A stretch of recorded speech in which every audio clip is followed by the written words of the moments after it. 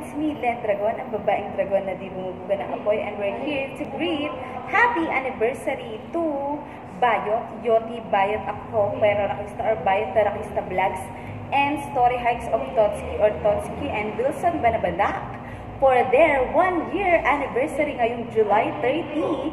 And uh, para sa hindi nakakaalam, this uh, day also is my one year as a graduate bilang uh, 1K subscribers or bananas na yun. So, uh, more anniversaries to come sa inyo dalawa at sana'y manatili ang inyong love team na still going strong and more power sa inyong love team at sa mga pangarap nyo or mga plano nyo sa buhay. So, I will always be here to support every one of you.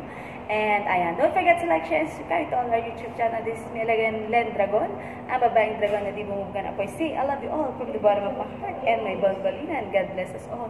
Mwah. Chup, chup. Bye-bye.